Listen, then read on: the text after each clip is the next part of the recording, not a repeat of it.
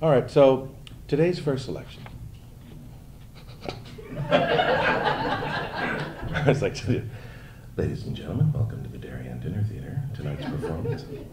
All right, 50 Kafers in Bray. Is, is the paper over the, Yes, because that's not helpful. I know.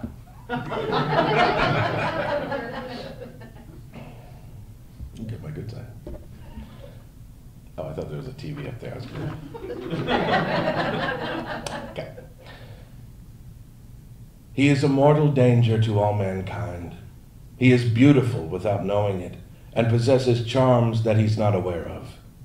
He is a trap set by nature, a sweet, perfumed rose in whose petals Cupid lurks in ambush.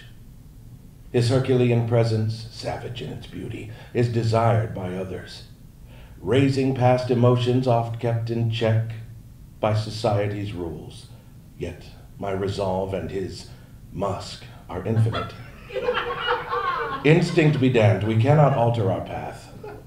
I am not afraid to die if we are together, nor shall I fear the gates of hell if thee are beside me. Our tribe of two can straddle any divide. No distance cannot hold us apart.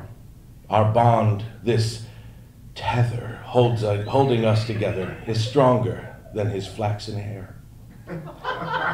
We shall wear stripy polo shirts and dance in the rain, for I know he will protect me. I'll call my wife to let her know I'm with you again.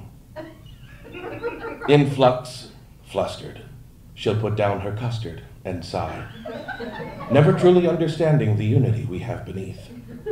He instills grace in every common thing and divinity in his every careless whisper. The phone rings and my pulse quickens. Anyone who has heard his voice has known perfection. Juicy, if ye be of mankind's fruits, moist the throbbing beating of his heart, the vibrant yet somehow delicious, delicately soft caress of his words. You and me, we were intended to be. Bobby. ah, yeah, I changed that last word, bitch.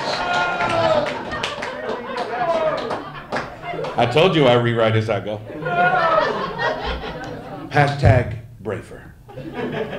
Yeah, that was it. It said Jeffrey at the end, but Jeff, if you see this. Oh, I know. That's what I'm saying. I changed it.